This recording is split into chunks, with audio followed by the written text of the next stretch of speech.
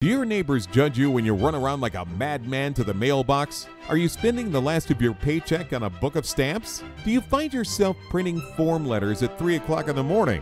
Well, welcome to Autographers Anonymous. Welcome to Autographers Anonymous, a place where we discuss our addiction to the greatest hobby in the world. Here are your hosts Andy Summers, Chasing Ink, Mike the Godfather, and yours truly, Zane Savage. And let's start the show off with TTMs of the week. And there's been a lot of talk because we added a lot of prizes to the Legends lot. Before we get into the new prizes that are going to be won by the main winner, let's talk about who won the last show uh, on TTM of the weeks. And that is Mark Donahue. Congratulations, Mark. He won with a Quincy Jones TTM return. And you can see that right here. And it's amazingness. Check it out. It's awesome. And uh, we have we have some new rules to announce to this because we have we've had a lot of entries. We actually had more entries in this than we have had our giveaway. So uh, we do want to add a couple stipulations. If you are a co-host, sadly, or a guest host, we, we cannot accept entries from you. I know the price pool is getting very seductive, but uh, that's just the rules. You know, we don't want to have any biases. So um, no co-hosts, no guest hosts can enter. And if you win, you have to wait one show to enter again. So let's say we announce you're winning on this show, um, you can't enter for the next one. You take one off and then you can enter again. That just kind of gives everybody an even chance to get entries in. Um, so those are the new rules. And let's go over what's available now. The Legends lot has grown to 12 autographs, and it's pretty crazy, guys. Um, I did some inventory stuff. Uh, I was making mats, and I came across some damaged autographs, some stuff with flaws, and some matte flaws. And I was like, you know what? These are going to be hard to sell. I'm just going to go ahead and put them in the lot. Uh, they're still autographed, they're authentic autographs, but they have some damaged stuff. So, first, obviously, Wayne Gretzky. We've talked about this before. This used to be on a hat, but uh, I matted it. So, it looks a lot, a lot nicer this way. So, Wayne Gretzky's the first one. Then we move on to Gordie Howe, mat piece. So two of the greatest hockey players of all time. Then we have Bill Russell, 11-time NBA champion. Then we move on to Magic Johnson, and here's where we start getting into some flaws. This is a rare uh, Magic Johnson full signature, by the way, but you have some rubbing, um, actually some smudging and bubbling. So uh, the signature is not great, but uh, it's there. So you will be getting a Magic Johnson. And Kareem, nice Kareem Abdul Jabbar, mat piece. And this actually works for film fans and basketball fans because it's a photo of him and Bruce Lee. Then we move on to Nolan Ryan. And one of my favorite photos to Matt, him beating the crap out of Robin Ventura. So there's that. Then we have Joe Namath and again a famous photo of him putting the number one in the air so. And i wanted to expand it past sports. Uh, i know not everybody's a sports fan and some people who are into movies and space might want to get in on this. So we have a sally ride. Um, there are a few flaws with this. Uh, somebody actually took like a washable marker and marked over it. I tried to get it off as best as possible but you can still see there's a lot of smudging on the signature but it's still signed by Sally Ride. So uh, I think it was a library or somebody that just tried to mark something out. Um, and you also have some flaws on the mat piece itself. Uh, but overall, it's cool. I, I, I figured why not? I mean, I'm probably not going to be able to sell it. Why not throw it in this lot? And a Moonwalker, Jim Irwin, matted right there. The problem with this is got a tear into the signature right there. So again, it's going to be hard to sell that. So I'm throwing it in the lot. Then we have Daniel Radcliffe, Harry Potter for you film buffs, and Bryan Cranston, Breaking Bad. So those are 11, and you might be asking yourself, what's the 12th? Mikey, you want to show them what they get for the 12th? This will be going to Mr. Savage to be matted, but it's Bart Starr. As you can see in the photo, it's personalized to Glenn and looks like somebody tried to remove the personalization as more of a card stock and instead of a glossy photo, so it didn't come off, and so it, it's flawed. The signature is bold and beautiful, though. That's awesome. And that's going to look great matted. So that's 12 signatures. You're talking about literal legends of their fields. And uh, the winner of TTM of the season will win all of those. One winner takes all. Um, but to win, you have to win TTM of the weeks. So you have to enter, guys. So if you want to enter that, just go to our website, graphersaa.com. It's graphersaa.com. Submit the form. It has to have social media proof. And uh, yeah, you might win that giant lot of awesome legend autographs. So let's move on to returns. What you got, Mikey? All right. Got a few things in this week. Got a package from our friend Scott over at Reindeer Studios, and I can't show it because it's already been sold. Uh, when he gets a doodle in, he graciously donates it to Autographs for a Cure, and they sell almost instantly. Uh, as soon as he posts a video, which I have a link on my site to his YouTube channel, he posts it, somebody contacts me, and it was gone. Uh, it was Doug Dascenzo, the uh, former Chicago Cub outfielder. So thank you, Scott, for that. All right. Um, I don't think I got any purchases in this week. So TTMs. Don't worry, I'll make up for your purchases. Um, I tried Mike Piazza. Returned in my SASE. Uh, what I've been doing is finding some private addresses, trying them. Why not? 50 cents. uh, got a refusal, return to sender from uh, Dwight Evans, Red Sox star. So I think those were the the duds. Uh, got a few returns. This one's pretty cool. Uh, NBA great Bruce Bowen played with the uh, Spurs, won three championships, and a couple cool shots here. There's Garden LeBron and Garden Kobe. Hall of Famer? Uh, not yet. Famer. No, he's a Spurs Hall of Famer. That was it. Yeah, Close I'm pretty sure he is. um, wrestling return, Mr. Wrestling 2. There was a couple of them, variations, old school stuff, but found cool shot, old school Arn Anderson.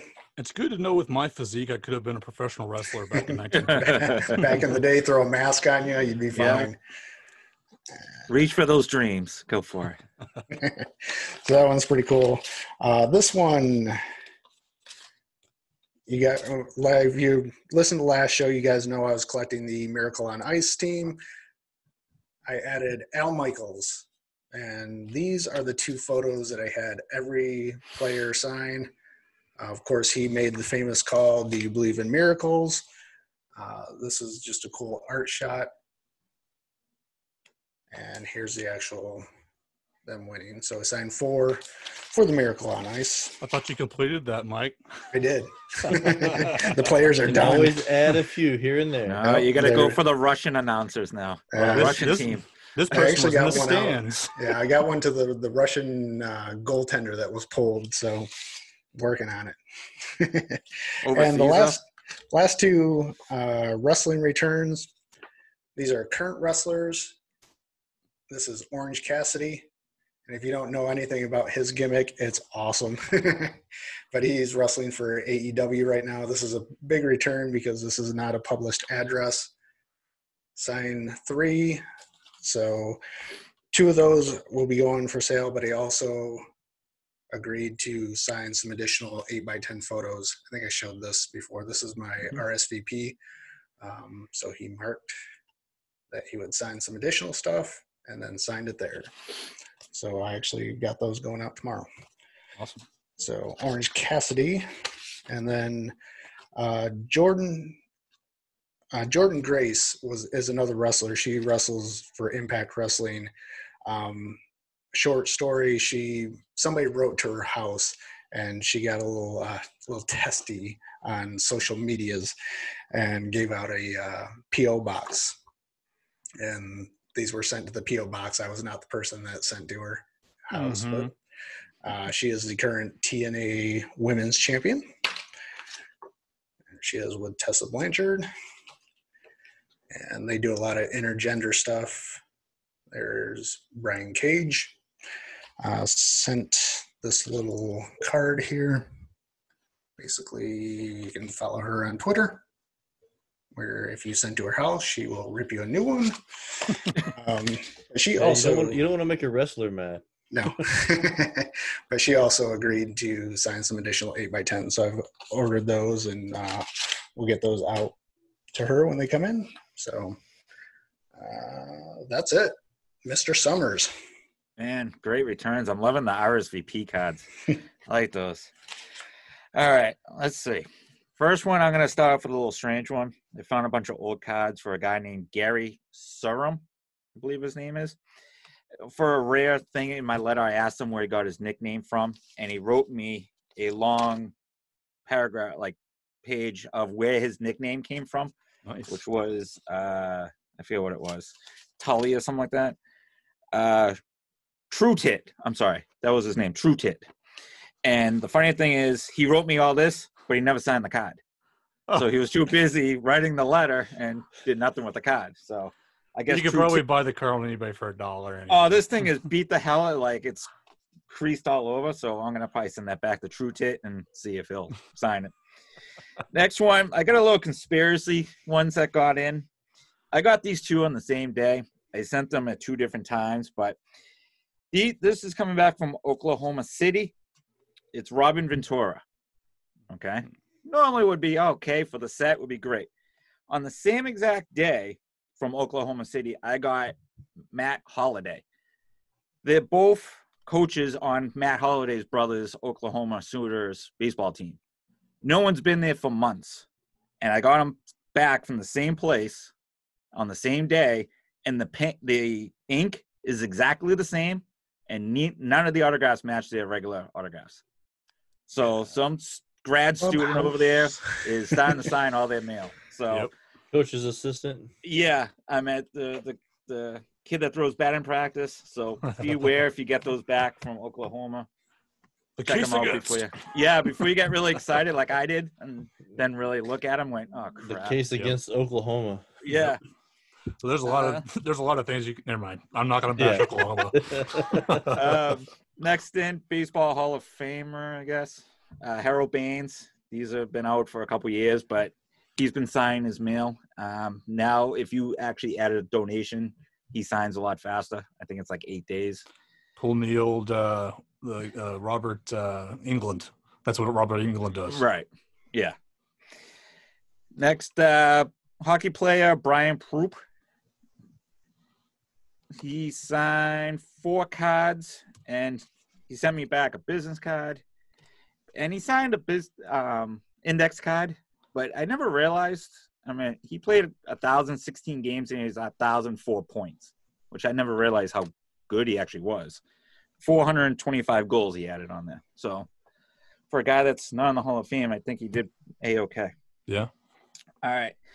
Next, I sent this CEO a email, and I got a letter back or email back from his executive assistant saying, "Well, everything in the world is going haywire. If he has a little bit of time, we'll send you something." And it did show up. His name is Chris Kempczinski, and he's the CEO president of McDonald's. Oh. So that one's a little different. Yeah, that's cool.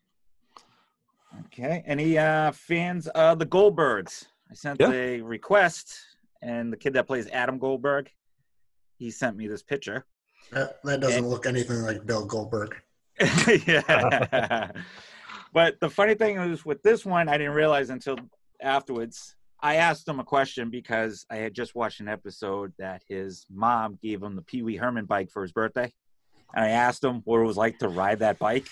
And he wrote back a letter on the back saying that it was a thrill to watch, to basically uh, spent the whole weekend riding it before filming. He watched Pee Wee's Big Adventure a few times to learn how to ride it, and he said it was terrible to turn. but it was an honor to ride that bike. So I kind of like that. I've just sent off to his sister, who's also signs. Cool. This one is a seven year return. I guess he's been sitting around doing nothing, but it's part of the Earnhardt family. Kenny, uh, Kerry, uh, Kerry, Gary. Kerry Earnhardt. sent me that one, and the big color 10 by 8. Uh, those are usually eight and a half by elevens. Yeah, they're, yeah, when they're going Like the the full- sidewards. Yeah. Next is this was an old uh, TTM that I just sent out. This guy took about a, nine days. His name is Josh Mostel. I forget where he played, but he was in Big Daddy. It's an old VHS cover that I'd sent. You don't see VHS covers signed very no, often. I think I sent this probably about ten years ago. Oh Oh, really? Did you prep Yeah. it? no, Really? and it was in my RTS pile. So I said, "Screw! it, I'll just I'm trying to eliminate my RTS pile." Right. but he sent me back a nice message and he said that his that his father Zero Mostel Oh, yeah. this guy looks really familiar Yeah, he was in the producers, uh, the 1970s version. Okay because i saw the picture i'm like this guy looks familiar i He, guess it's his, his, autograph's worth a decent amount of money. Uh, i'm guessing he's no longer with the No, he died in like the 70s, I think, the 80s. Yeah, Zero. Uh, I've I've had a signature before. It's he's he was a famous Broadway guy. okay yeah i just kept staring at him I'm like i know this guy from someplace and i Mhm. couldn't place it Yep. next i tried this guy one other time rts but found another new address for him his name is vladimir Ondrasik the third he's actually known as the lead singer of five for fighting Oh, cool. So, so sent them the um, what do you call it? CD The cover. CD, yeah, the CD, cover. So you kids back there, you know. Wow, he CD. inscribed that whole cover. Yeah. and he he included he signed the back of my letter too. cool. So he went a little buck wild, but I guess we're friends because it says your friend. Yeah, best We're, friends. we're getting close now. Congratulations. Yeah. How, is that up, Um, to, up to a thousand now? Friends. Next, Richie Guerin, basketball Hall of Famer. Sign my basketball piece.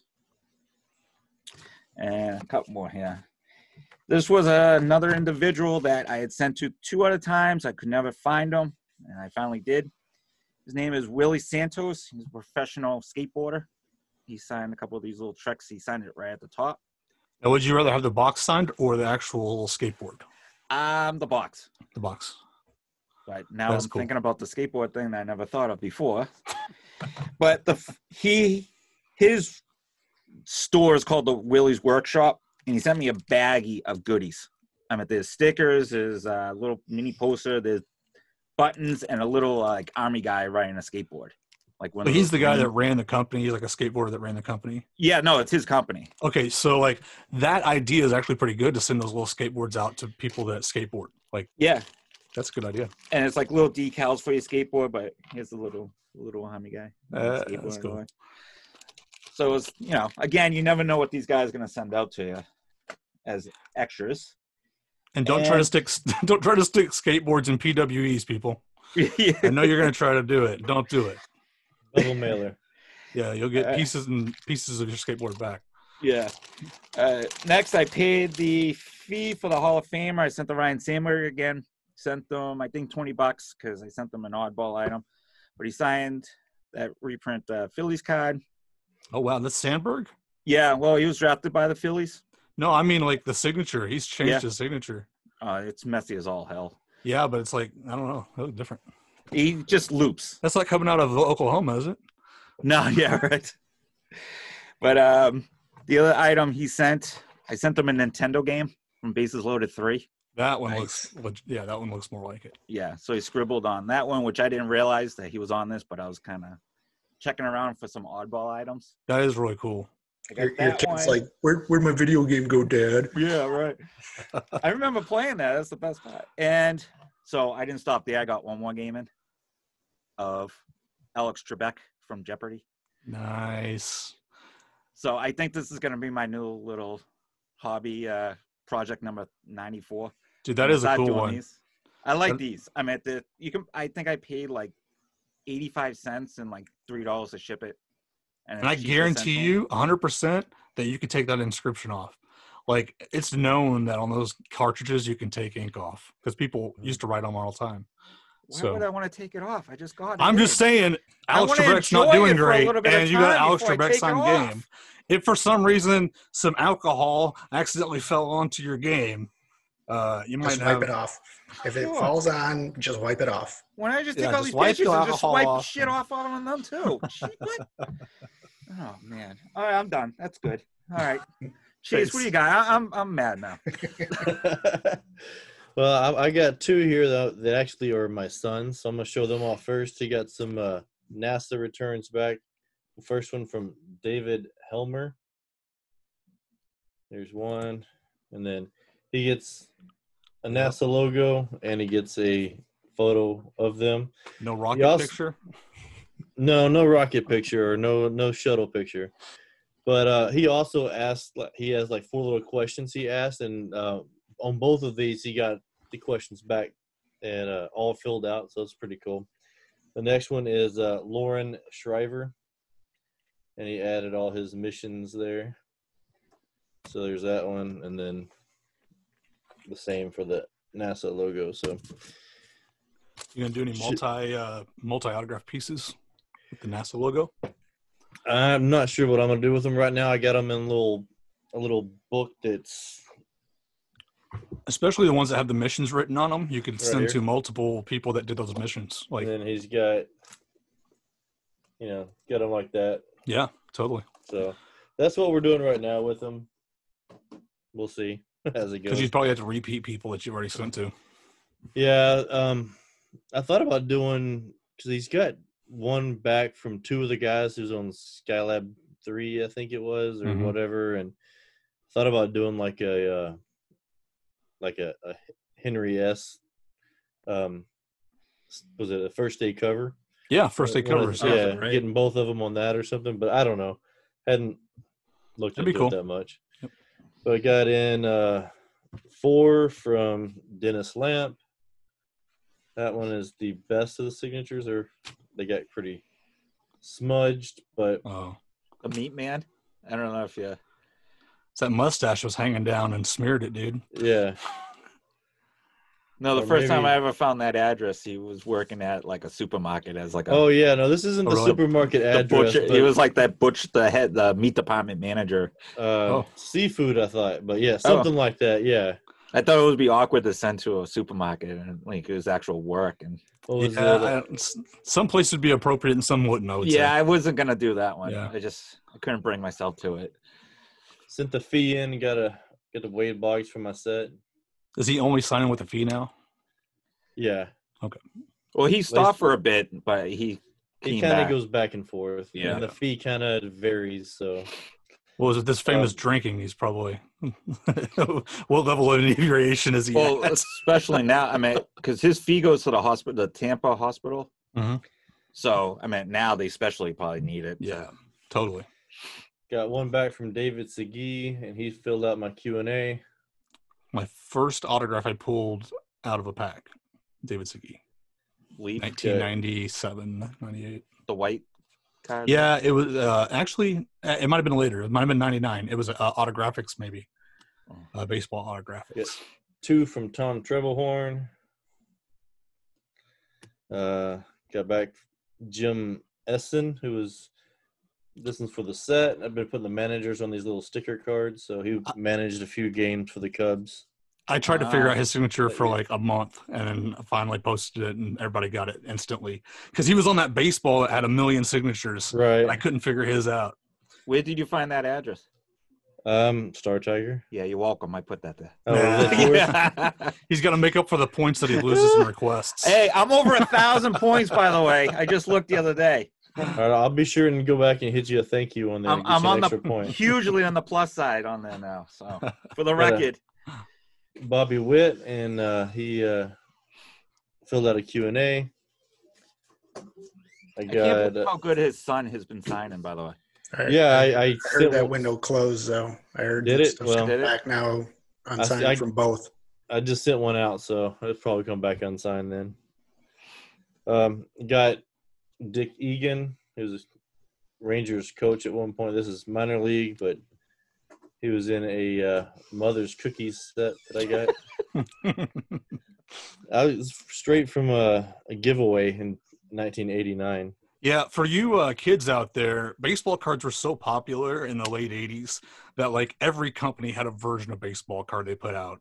And some even had autograph sets they put out, like Nabisco had yeah, full yeah. autograph sets they put out. And they had poor Ernie Banks sign like 30,000 cards. Yeah, this one actually on the back of these actually has a little line for you to get an autograph right on the line. there you go. Everybody had a set Uh, back then. And then uh, let's see, I got Charles Nagy. Got in on that window. Here's one, two, and three. And then the last one here from the uh, umpire set. This is Drew, I guess that's Coble. And then the bottom of the box cards that I picked up a checklist. He signed the back of it since he was a uh, behind the plate umpire for two of the perfect games, or not perfect, yeah, no hitters, two of the no hitters. That that's what the checklist about. So Nice. that's uh, all I've got for today.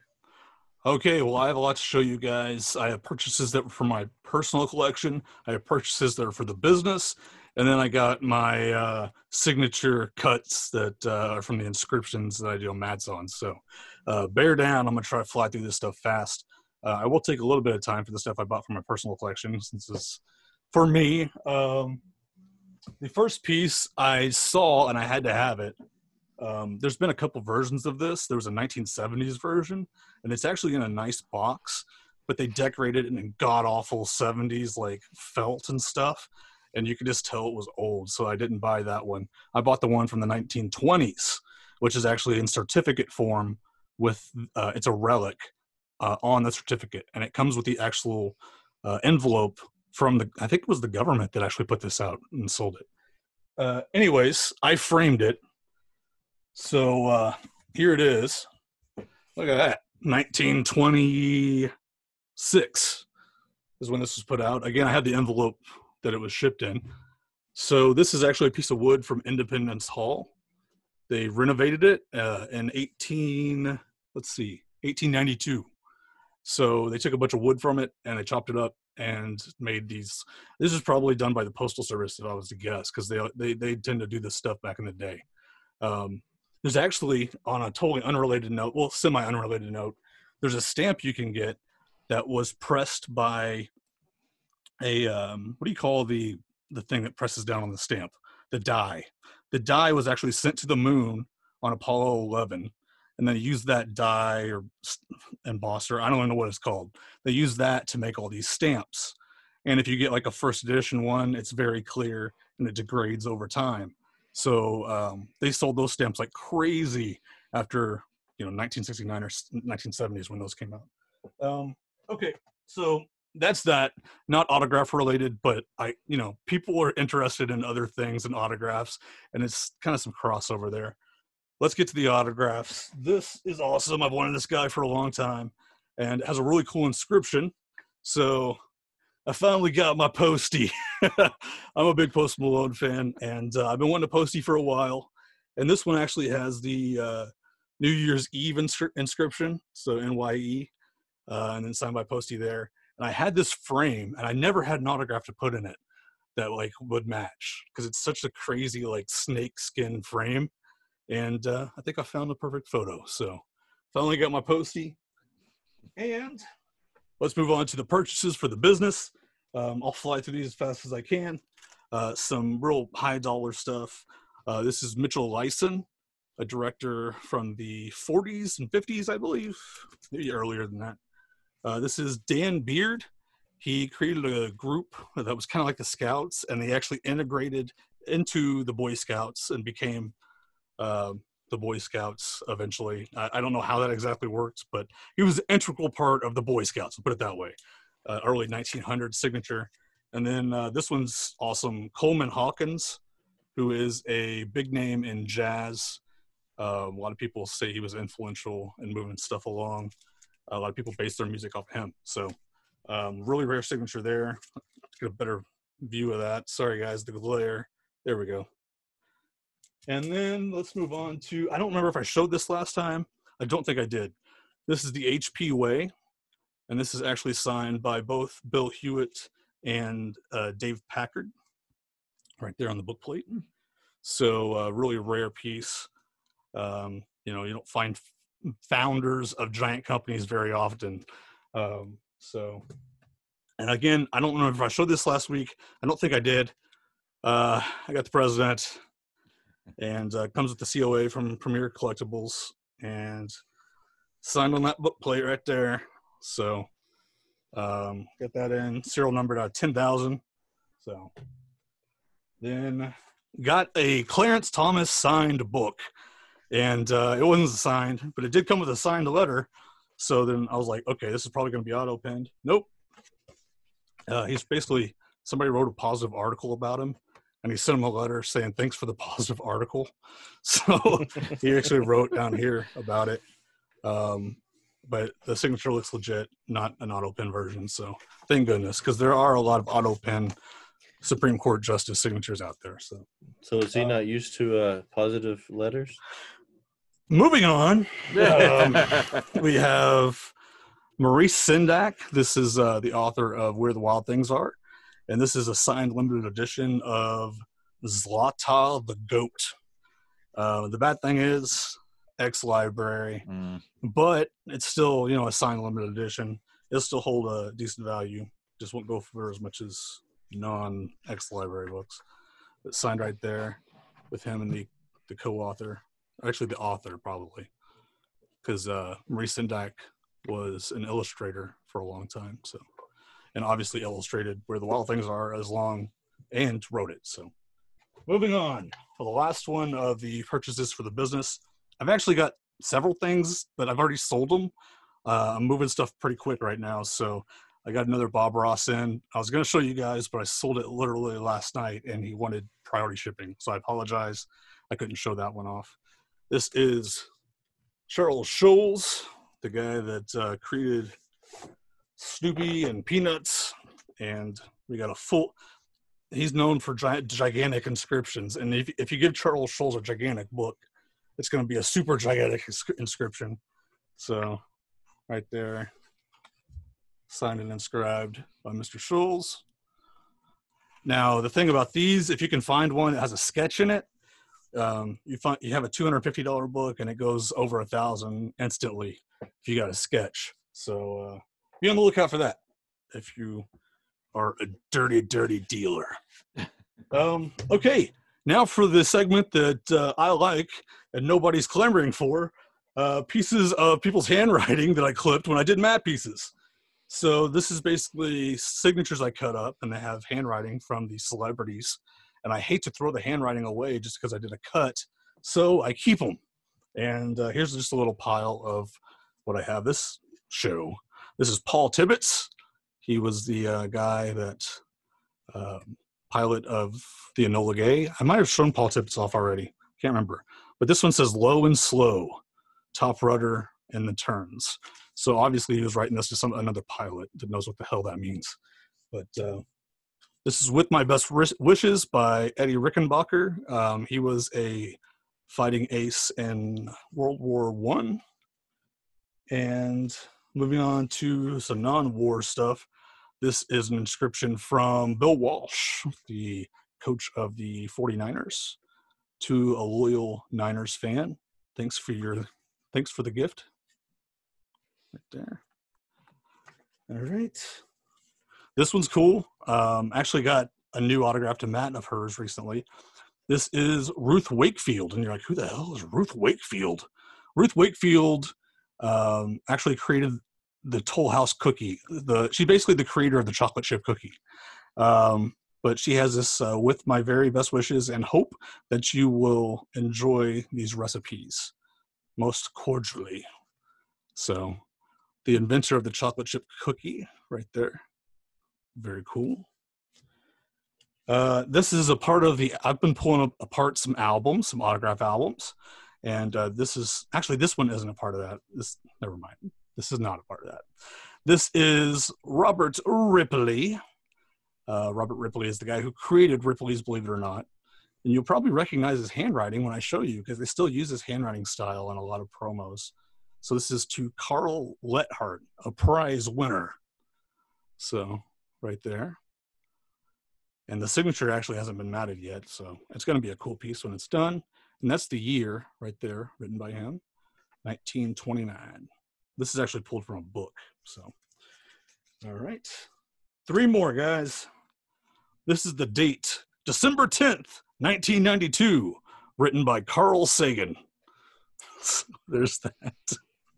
These guys are looking at me like, nobody cares about your damn handwriting. Sagan." Pardon my French.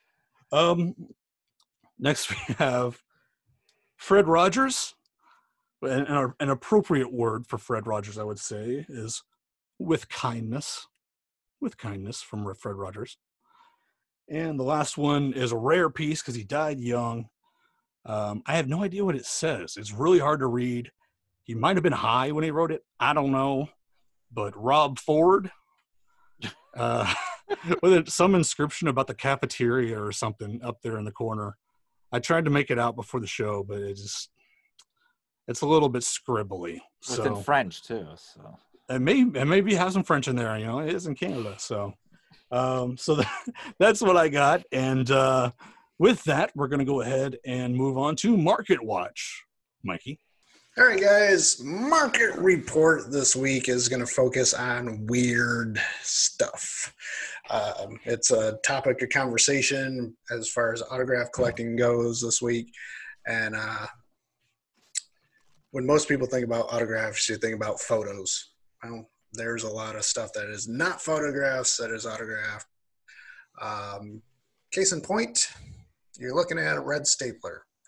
And some of these things you have to explain to people why you have an autographed red stapler. If you've ever seen the movie Office Space, uh, this is Stephen Root, who played Milton. Of course, it's a great movie, it's a great character, uh, fits in with the movie perfectly, but people have gotten the red stapler there you go. sign. Uh, I got it signed? mine. Yep, right in there. Well, there you go, Andy. So you got hundred bucks in your hand right now. I was the originator of the red stapler going out to people. Just show it again now. There you Yeah. go. So, You yeah. personalized the top and signed it there. Oh, That that is inscription can Milton. come off too on the top. He, he was a like great TTM signer, but I think he's doing it because He did. of this reason right here. They're charging 150 bucks for a red stapler that he signed. But uh, anywho, Just uh, just as a side note, you know how much a goddamn red staple costs because you can't find them anywhere. They How actually mu- thirty. uh. Swingline too, which is the brand that he talks about. I think these go for like twenty bucks. okay, that's, that's reasonable.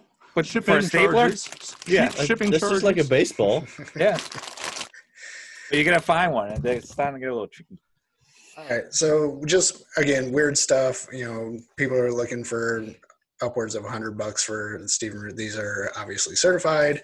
Uh, next one, just a weird random thing that I found. There's a deck of playing cards signed by David Blaine, the magician. You know, it fits in with who he is and what his stuff does. But if you have this to a non-collector, you kind of have to explain why you have a deck of cards signed It's by the autographed, yeah. magician. So, just weird, random stuff. And Uh, if you have a deck of cards signed by like random people, then you really have to explain. Like we're Oh, on talk about hit the deck. We did Yeah, Project well, Hit the Deck back in the day. We'll, we'll get to that one. um, horror is a big genre for getting weird things signed. Um, a lot of props, a lot of knives, uh, a lot of a lot of stuff that is associated with movies. So uh, here's Nick Castle played the Shape, uh, Mike Myers, and the Halloween. Um, you know, you're looking at a hundred bucks. That's those are real knives. Those are not fake. So That is just- actually lower than I thought it would be for that stuff. he's and I think the market is flooded because you know it's it's not as unique as it used to be. Yeah, Yeah. so I, I see a lot of these like subscription services go in the route of some of this stuff. Have you noticed that? Like they're doing more gimmicky uh, object autographs. Yep. Yep. It's- you know, it's people don't want a picture signed at a con. They want something they think is unique, and now everyone does it. masks and stuff Yeah, like that. show uh, actually I've, the 2 I've big been ones. to Oh, go ahead. Oh, sorry. The two big ones was uh, Sylvester Stallone and Arnold Schwarzenegger were dri- doing like the big uh, Rambo knives and Commando knives. I've been to a few conventions where people have uh, brought like uh, Star Trek Klingon swords or something. I don't know. I'm not sure what they are, but to be signed, and they have like, okay, put them over here on this table. The person will come over there to sign them, and then come back to their table because they don't want you bringing up the swords or whatever. To them. Yeah, I, I thought about that. That's got to be awkward to bring a knife up to somebody. You know what I'm saying? Like you almost have to be like, I want this signed. like, sign this, sign this. yeah, Well, exactly. yeah, sign- Yeah, because I IPers, IPers out there murking people. Just to- well, I felt uh, because I I can Ho- was it hotter holder Yep. that played Kane Jason. Hodder, Kane Hodder. Yeah, I bought a machete for him to sign, but I couldn't send it TTM. yeah. So I just unscrewed the handle and sent the the grip, and it's not signing the blade, but the grip, Yeah. and it just reattached it, and it looks great. Cool. Nice. Well, I had the sheath right here, so uh, I have a John the Waters signed condom. So, oh, we're talking about weird items. Go ahead, Mike. All right, let's see what we got next. Oh, what now you- random stuff we found? Uh, game used cleats. Our friend Garrett over at Slab City. We'll talk about him later, but he was I called him Cletus for a long time because he got in game used stuff. To any autograph or non-autograph collector, these are just stinky shoes. Why would anyone collect these?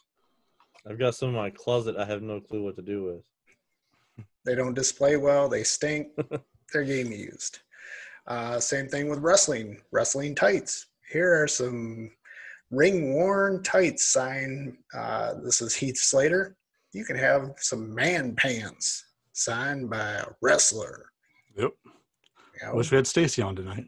Hope they're washed first. yep. Here we go. Speaking Yeah. of Stacy Schaefer, Oh, you can have some underpants, some panties, some thongs signed by your favorite playmate. It doesn't, Doesn't say, say worn, though. Game you worn or nothing. Game on. Uh, yeah. Our, funny how many of these our co-hosts of the show have. yeah, Where, multiple co-hosts too. It's not just one. Um, I know Dave was big into uh, getting stuff. Uh, Dave Stotler, Dave, no. Blood, Blood Spawn. That that was his thing. Um, next one, I pulled this one up because I couldn't find the old listing, but this is uh, Paula Creamer, the golfer, a signed Pink Panther stuffed animal. Oh, I was they- waiting for that.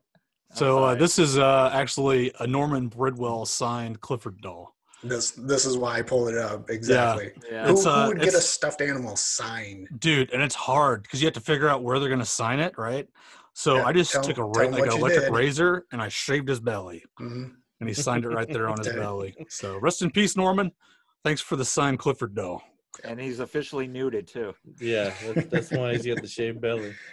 Just needs the cone of shame now. Yeah. Yeah, so ran, random things like stuffed animals. Uh, what we got next? When I st- think of Steven Seagal, the first thing that pops into my head is a chef's hat. No, but somebody got it signed because he was in the movie Under Siege, which he played the cook Yeah. on the ship. But random chef hat signed by Steven Seagal. that's funny And last one, we talked about this. Who in their right mind would get playing cards signed by random people? yep. Why would you do that? Yeah so a lot of people don't um, well I, if you've been in the community for a while you probably do know about this. We had a project called hit the deck um, i think we originated it on the old podcast Auto, autograph weekly and um, it's spread. Uh, a lot of people like the idea. You have basically cheap things to send out and it, it kind of involves you being creative. Um, basically you have to use the number or the suit like you know hearts or clubs you have to use those to link them with the celebrity. And then you have to explain to the celebrity what the hell's going on in the letter and hope they sign it. So um, a lot of people have used these as competition. I know troy has used it as a competition uh, over the last few years. And uh, they're actually becoming quite i see them a lot now. Like people are legit just sending out playing cards because it's a cheap way to get stuff signed Yeah, I was just joking, like why people would do it. but Yeah. I, They do I do brought it. that up. Yeah, because the hit deck. But I I follow somebody on Twitter. Uh, I think it's Pokey the Brave. He's been doing it for a long time. He's got some cool stuff. His is his is more random. Um, you, I know you guys when you didn't hit the deck tried to associate it with the thing, but um, Yeah. people just send them out. Hmm. So autographs is not always you know photos and baseballs. It's it's random stuff. So And sometimes that makes it harder to explain. May, uh, exactly. pull up a random thing that I just yanked from over there. Jaws' first victim. It's a little mini shark signed by Susan, whatever uh, was it Beck, uh, the stunt Beck. woman. Backlinie. Yeah, Beck and Sean. That's cool. I wanted to send these to all the victims, but I kind of put it aside. Another thing I started but never finished. Signed pop by uh, Matthew Modine. Cool. But those are those are pretty popular. Like those are Popular. legit. Like that's like one number one number one signed items now. I thought I figured pops would have faded by now, so they, they're actually showing a little bit of staying power. They're not being Um, your babies. yeah. We'll see. I mean, I, I think eventually it'll go that way, but it's it's lasting longer than uh, Beanie Babies. I just sent out my first one the other day. Actually, Just I had the it, box or the full thing. the whole the whole entire. Okay. Thing. Actually, no, I lied. That's my second one I sent out. I didn't get my first one back, but Oh, I took it out, collapsed Yeah. the box down, made it flat. yeah. You might do that next time, Andy. Just collapse the box down. A lot now too lazy. say that way. Too, way, Too lazy. You save money, dude. No, you know what it is? That's how lazy I am. I rather spend like four extra bucks each way to keep the whole goddamn box. Oh man. Okay. Well, we're gonna move on to the via venue report uh, with Chase. Chase, uh, tell us who we can send pops to to get signed. Um, Roger Staubach. That's a good one to send a pop to. Does he have a pop? Yes, there's a. I don't know. Who doesn't have a pop? I probably have a pop out there now. Hmm. We might need to see about making a, a show pop. All right. Um again, I've said this before, baseball private signings on Facebook. There's almost daily someone new being put on there. Check it out, especially if you're a set collector, you know, trying to find some because there's some obscure signers that don't sign like TTM or don't do a lot of in-person signings that are now signing, especially with everything going on. I guess they're uh, hurting for a little bit of money, so they're doing some some signings. So you can check that out. But um, I'm going to go over a small list of non-sports today um, that I saw. You can same thing. You can go to uh, celebrity private signings. It's a group on Facebook. Um, Tim Curry, Chadwick Boseman, Danny Elfman, uh, Helena Bonham Carter, Michael Keaton, Christopher Lambert. Those are a few that are Dang. I saw pop up in the last week or Those so. some big names, man. Yeah, man. Now, some of the bigger names do come bigger prices, but it's also, you know, you're getting an authentic, you know, autograph. And Some it of comes with them- certification, right? Most of them. Yeah, it's I've seen a lot of them actually doing like um like video, like they'll record the signing, and then whoever had like bought in or sent in will get a copy of it or um a Zoom link, like you know, seeing somebody doing some Zoom signings as well, and um some of them actually just Facebook Live too. So Yeah. um, definitely check those out. There's Yeah. there's ways to get.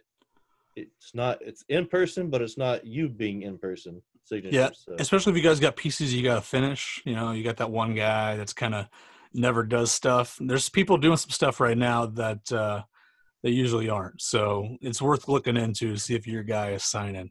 yeah. Here's um, one that I'm going to be sending out soon. Here, it's uh Sax man. just need to get Steve Saxon. He's doing a private signing coming up in end of June. Um, that's awesome. So yeah, definitely check that stuff out, guys, because it's a prime time for private signings. Uh, let's move on to our topic, which we touched on a little bit. Market Watch, explaining what the heck you do.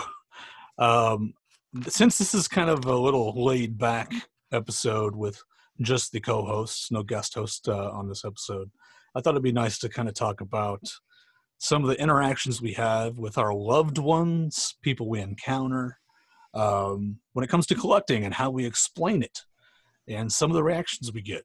So, uh, first, we're going to talk about the reactions. And I think this gets kind of put into two boats. um, with some in the middle maybe. But you either have the people that react in a way of, uh, hmm, okay, like they don't understand why you do what you do. Then you have the people that understand and could possibly be even interested in a follow up question or two and and uh, and ask you some stuff. So I find they've kind of fallen in those two categories. Um, what have you guys experienced with uh, reactions when you tell people that you're an autograph collector? As far as my loved one, I'm I'm very lucky that I have a very supportive wife of my hobby. She's interested to see who I get back because, you know, I try and incorporate some of who I send to the people we see because I will be watching a movie. I'll be like, oh, I wonder if they sign. And if I get that person back, I'm like, oh, look. And um, of course, one of our favorite movies is Miracle. So when I was getting the the hockey team back, she was like, oh, she gets excited, you know, and she enjoys that aspect. As far as like the process of the hobby, she she care less. Right. but the end result, she likes seeing who who I get in. So like the surprise. Um, yeah, I, I, I can see that. My, see, since I'm a dealer, my wife my wife's more about the money. so like, I'll show her something really cool. I'll be like, check this out. This is like from a guy that did this amazing thing. He was like the only one, and he died in 1968. And she's like, oh, okay. I'm like, it's worth five hundred dollars. Just like, holy crap, that's great. You know, like it's all about the money there. In my experience with the with the, the spouse, so she understands that autographs, you know, are mon- uh, carry monetary value, and uh, that monetary value helps our family. So that's uh, kind of where that goes in my family. Uh, how about you guys? You guys got an experience in that? You want to go first? oh, you guys gonna get in trouble? no, uh, mine is. Um, I mean, since we're in May, I mean that's when I started TTM in 1991, May of '91. So I was doing this well before I even met my wife, and I've been with my wife 20 years, 21 years total. But she's, I mean, from day one I've known her. I mean, she knew I did this, and you know, she's always been supportive. She you know, the only time it's funny is, you know, she's having a rough day and I get a stack of envelopes in the mail because she goes, gets them, goes, ah, little extra free time on your hands, huh? You know, why, why aren't you doing stuff around the house?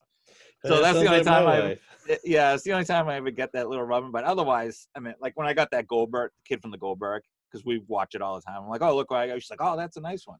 Yeah. Okay, go empty the dishwasher.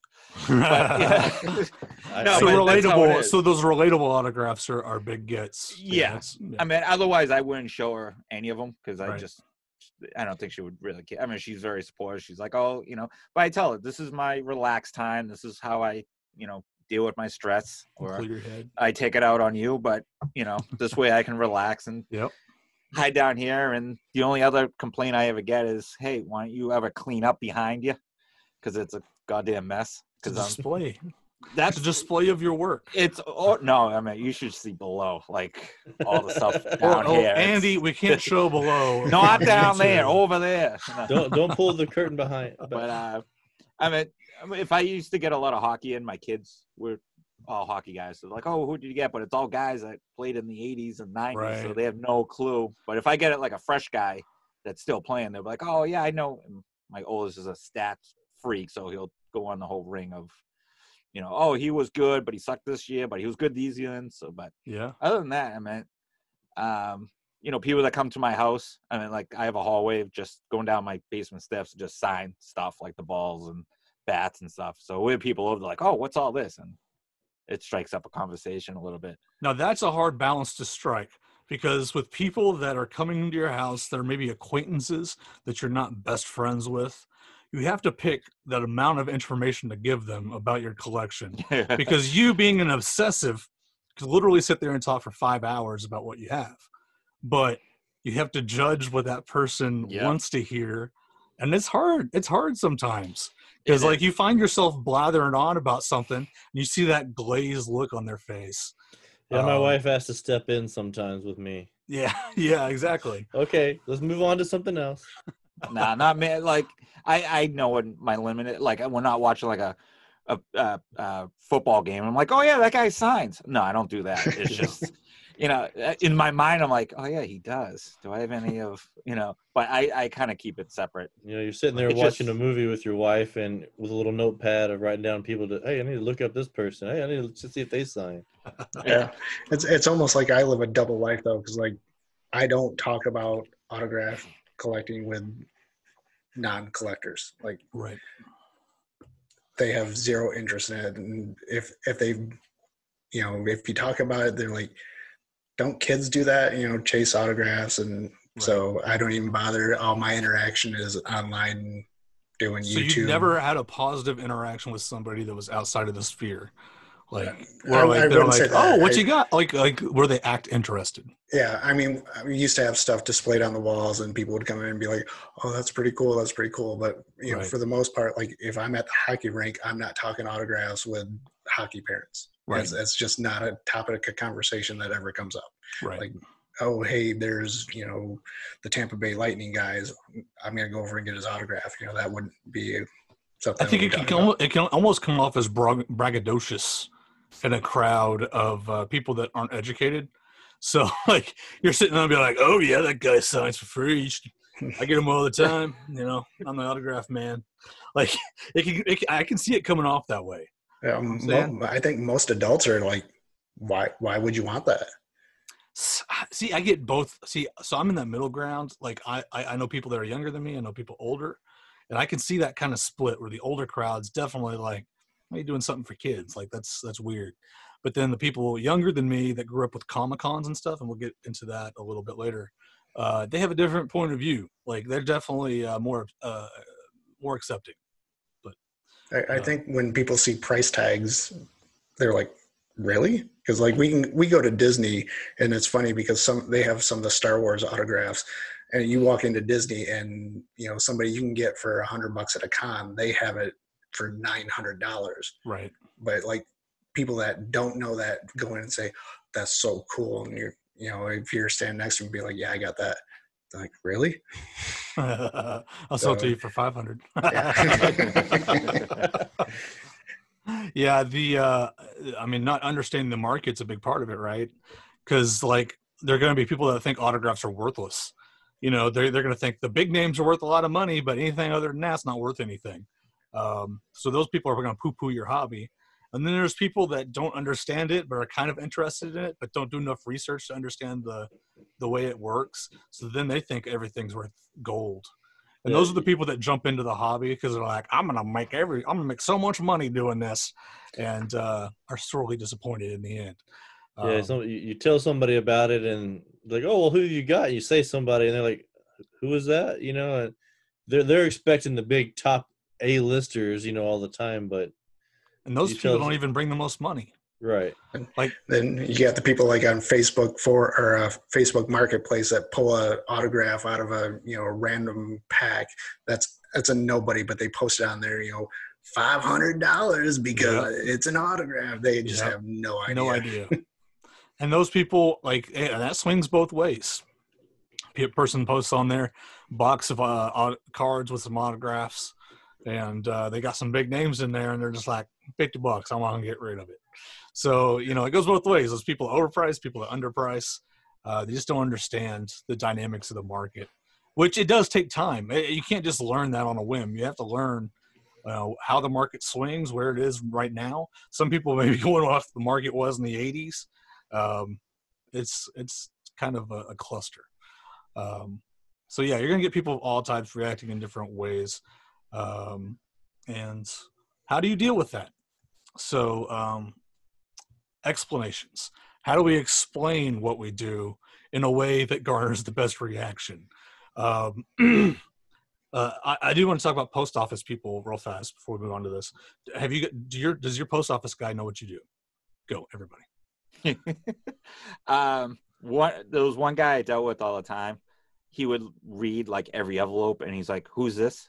Who's this one? Who's this? Oh, I know this guy. I know." But he's since retired, and the guys that took over his spot, they don't, they don't ask any questions. I don't know if they're allowed to even ask any questions. Like, what? But it just, I the guys that I deal with now know because there was a big time where I used to put up the big um, the the big envelopes and they would grab and bend it to feel what was in it. Yeah. And they've learned. I'm like, can you not just grab and squeeze? I mean, Yeah. they already know now not to do that. so that that's the conundrum, right? So you have, I, I think the autograph community is a little paranoid, but I've had mail theft within the last two years, like 15 packages stolen, and Informed delivery. right informed. Oh yeah, I started it after that, um, but um, is is the age old question? Do you tell your your mail guy?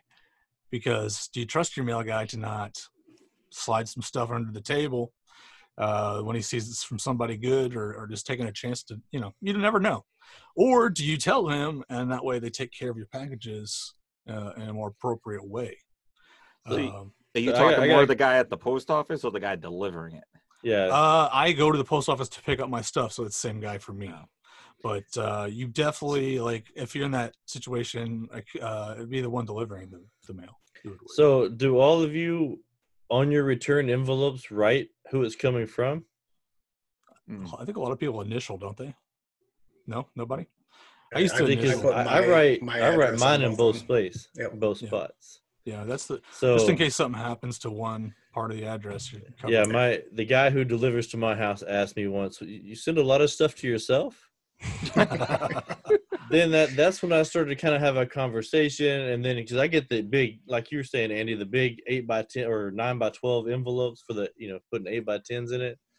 Told them, you know, hey, if you see these, you know, don't bend them if the, if you know if it's if the the mailbox is full, just bring them, set them on the porch, or you know, bring them up to the house or something, and and then the next week you get one of those. Oh, we're sorry, and you get your package that's been ripped open well, and the no, photos no, been no, taken out. see, you know, It's been like, oopsie.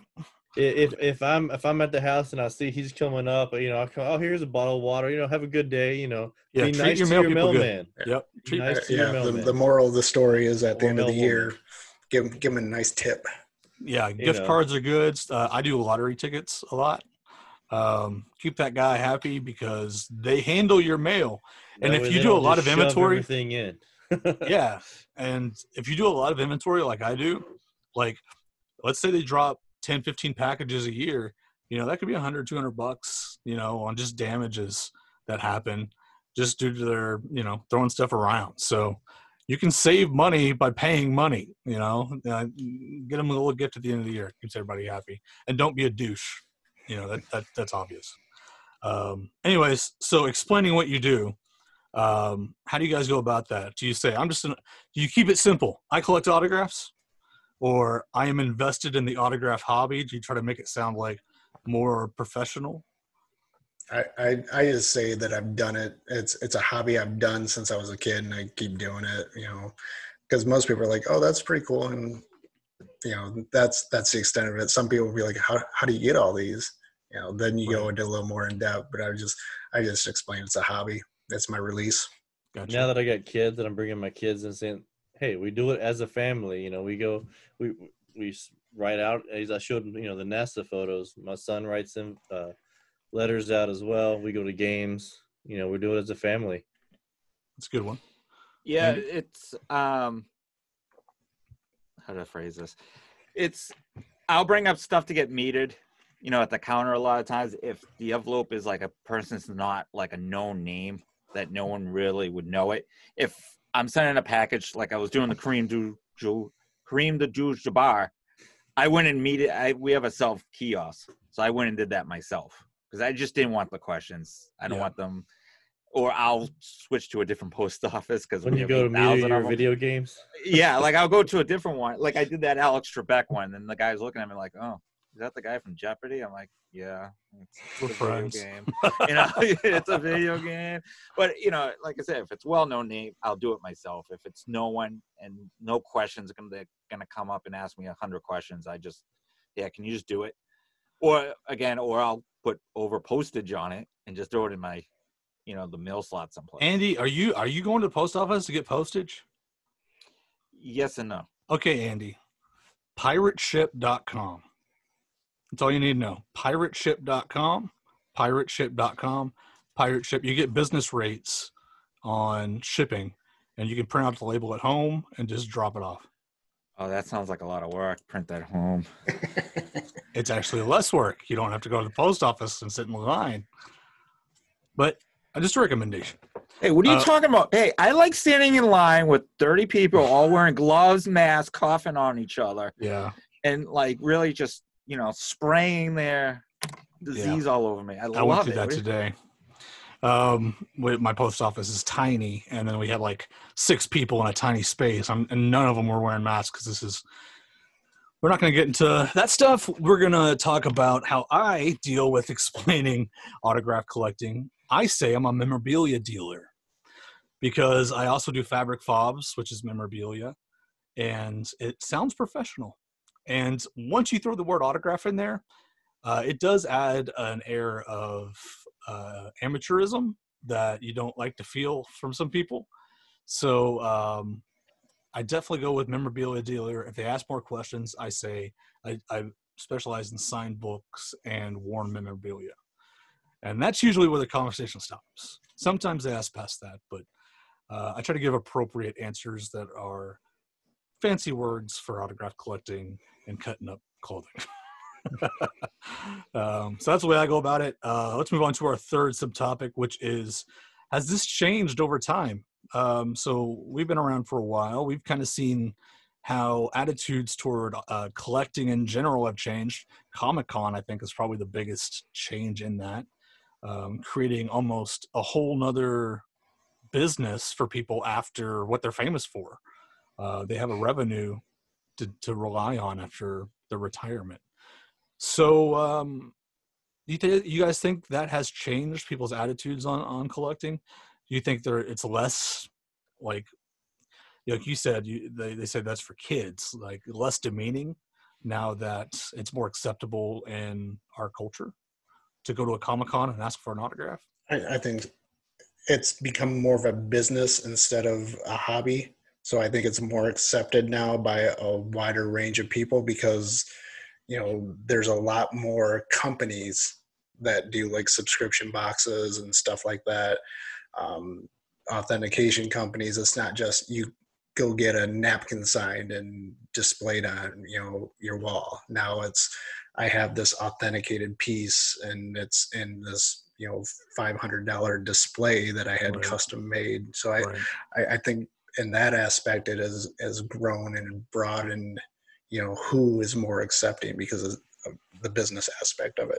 and what, like these shows like pawn stars um they talk about value a lot and uh maybe that, that those values that people see maybe that makes it more acceptable also uh what do you guys think andy chase Go ahead, Chase. I'm still thinking. I I think it's definitely more accepted in the younger crowd. Once you get about that forty to fifty year range, then that's when you start to get to that, you know, the questions and the looks. of, boomers what you know, like you know, yeah, Yeah. Uh, it's stuck in their own old old school ways uh, kind of thinking the way i grew up as a kid is the right way and every other way is wrong uh, that as you get older that tends to get ingrained in you um, yeah. When whenever I go to like baseball games and you know, go down get autographs at the line and stuff, it's usually the older guys. They're like, let the kids through, get let the kids through, and you know, right yeah totally I'm Um, still a kid inside, you know. so there's a so there's a generational gap there but the younger generation has definitely accepted it um, a lot more than it used to be um, yeah uh, andy you got anything No, I, I I'm really kind of blank right now. really Honestly. It's like you- so you're older you have any older friends that like react differently uh, than maybe some uh, of your younger friends or Younger, yeah, yeah, yeah, because I hang out with younger people. well even Uh, younger, no, it's- acquaint- y- younger No, acquaintances um, maybe your kids kids parent like No, kids it- parents or I have a I have a f- oh, I have a buddy from you know home. He's he buys a lot of stuff. Like he doesn't send off, but he buys like a lot of eBay stuff or like private signings, stuff like that. Like he'll go nuts. You know, he'll see it. Like he got into a huge kick. He was buying a couple Whitey Bulger signed prison letters. You know, yeah stuff like that. That's what he grabs, and that's what we'll. That's the only thing we'll talk about. And that's investment stuff. You could almost say Right. that's just investment. Like you're putting your money somewhere you that you know it's going to grow and, and probably never ever go down in value. No, he's more of display. He has a whole room of just signed stuff that is, you know, it's high end stuff. He doesn't Yeah. do like the low common guy. Like he'll grab a Brady football, no problem, and just display it for his own like little man town there. Right. You know, his conversation pieces with you know when he has people over. Right. So like those those are the guys, those are the high end guys that uh there's different eBayers guys. There's eBayers that cater to the collectors on the lower end stuff. There's eBayers that cater to the high end guys that whenever I'm not saying this guy that your friend is one of these guys, but there are people that are wealthier that will go on eBay and say, What's the highest price autograph of this person? Because I know that one's authentic. And that that and that aspect messes with the community because along with that goes the cheapest autograph on here is definitely fake. So you have those two things fighting against each other, and, and you as a seller have to find that middle ground. So um, it's very interesting. Yeah, it- um, there is definitely a generational gap there, but um, I think it's I think gradually we're making headway. You know who has it worse than us though? Trading card people. They got it worse than us. I think Uh, so. Don't you? Did you just see what the Mike Trout autograph card went? It don't matter. We're talking other about the day? people that are. I know. I know. It's like four thousand. What was it? Uh, Nine hundred thousand. Yeah. Wow, that's crazy. Like seriously, like it's Well, there's a lot of money being thrown in that direction, but I'm saying the people that don't understand it are gonna like. They're gonna criticize that all day long Hmm. because it's baseball cards. You know, It's like in their mind, it's cardboard. it's cardboard. man, with like the picture that, on it. I think they got it worse than us because at least we have like you could do documents, sign documents. You could do autographs have been around since like the 30s, uh, where people got celebrities and autograph albums. Um, it was mostly little girls getting it done, Now we're all but it was grown men there. Nobody was really collecting cards back then. They were just extras that were thrown in tobacco products, you know. Um, so I think the card guys have it harder than us, but we still, you know, we have to be creative when we're discussing that.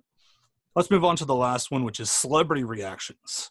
So uh, we've done a, uh, I've done a few celebrity interviews, and these guys have conversed a few times with celebrities. Do you guys bring up that you're a collector, or do you just talk about I'm a big fan? Which way do you guys go? I go both. Yeah, I'm, I, I'm I, a, I do both. yeah, I sign it. I'm a I'm a big fan, but I also say basically letting them know that anything they're sending me is going into my collection.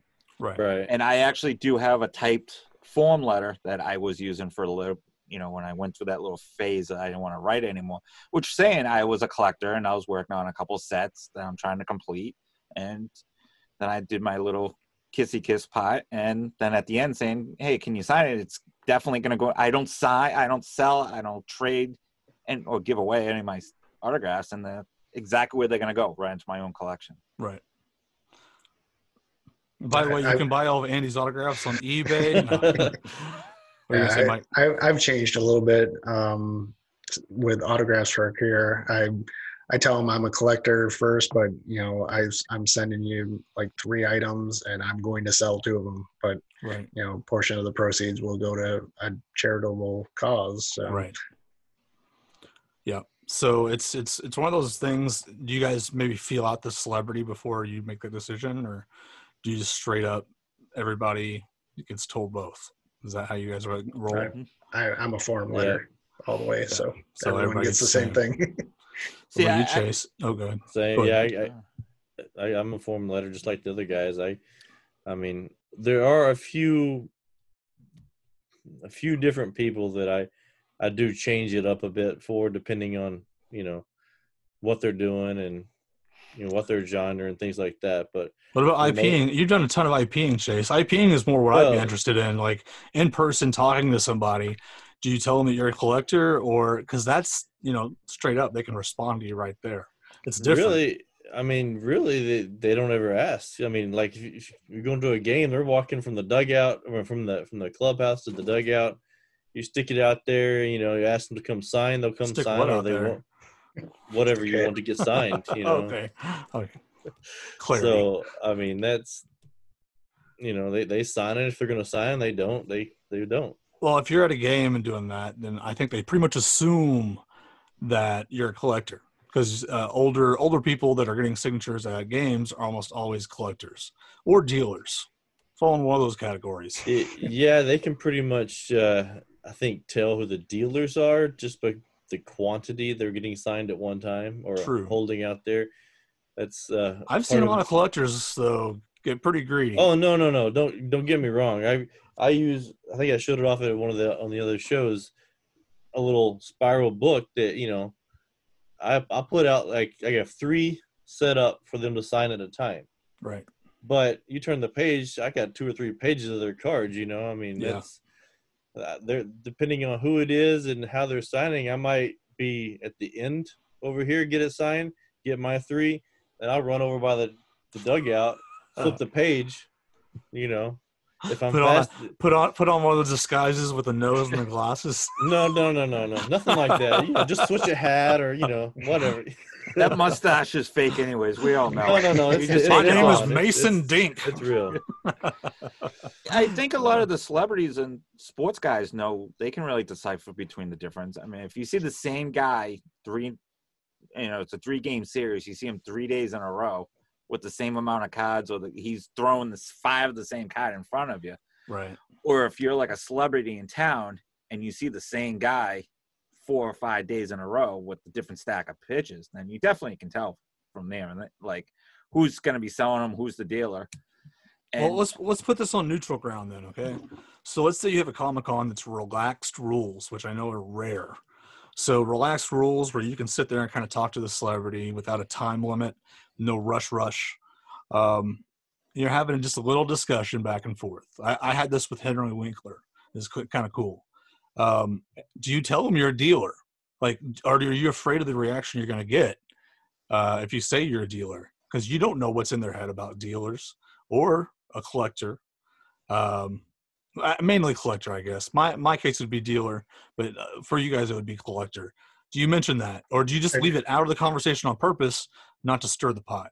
I think at a con they're getting paid, so I don't I don't think they care what is coming out of your mouth. They're just like, uh huh, yeah, okay, yeah, okay, Right. yeah, there you go, bye bye. Yeah, yeah. They're just trying to get you through to the next person. Yeah. Yeah, but That's I don't true. think I don't think that would be the like a topic. Hey, I just bought this for forty. I'm gonna go around the corner tonight and sell it for seventy five. Like, I don't think that would be even a subject to even bring up. What's the point? There, Well, there have been some wrestlers at at the airports. They've asked, you know, what are you going to get for this? Sure. Right. Then they sign it. They're like, you know, I'm I'm going to get sixty bucks for it. right. And some of them are like, oh, well, okay. a little surprised at the price. Thought it'd be more.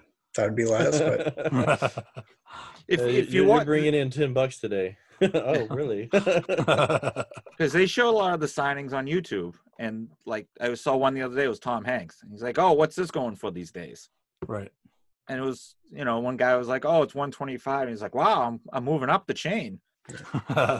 so m- a Like- majority a majority of people understand a majority of celebrities understand that part that that there's going to be people out there massively collecting their stuff obviously but also dealing their stuff and they're not offended by it as much intr- uh, maybe intrigued by it I, I think in this day and age, they'd probably be more surprised if, and maybe even question if you're like, I'm a collector. I'm, you know, will you sign this? They're like, bullshit.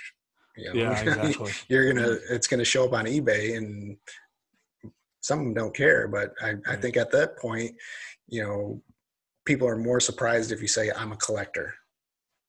How- what what what percentage you, like of celebrities do you think are actual like collectors themselves and would sympathize with somebody that's a collector and maybe even strike up a discussion about I, I know Pat Neshek is like the most famous right? One he's the guy yeah send me a signed card of somebody else and I'll sign your card or I'll send you a signed card of myself. That, that was his deal right? Um Yeah. so I, I don't think there's a lot of those guys in in in the league. Like if you're an athlete and you get to the professional level, your life is taken over by the sport. And most likely, some of these people collected when they were kids, but once they start becoming like serious about sports, I would say that stuff dropped by the wayside. Yeah, not necessarily. The big thing in sports these days is the jersey swap at the end.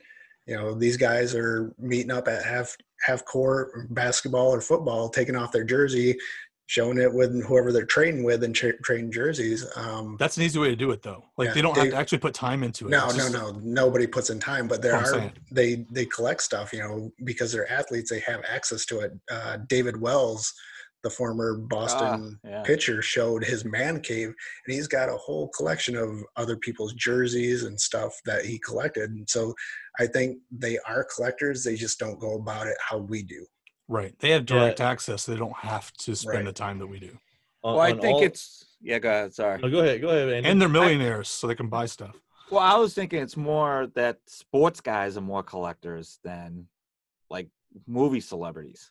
They're not walking up saying, "Hey, um, I was in a movie with Tom Hanks. I want your your jacket that you just wore." Uh, you might they might get a signed picture or an item, but a sports guy is a lot easier. Right. I mean, I, I- saw I that David with, Wells man cave. That I mean, it was insane the crap that he had in there.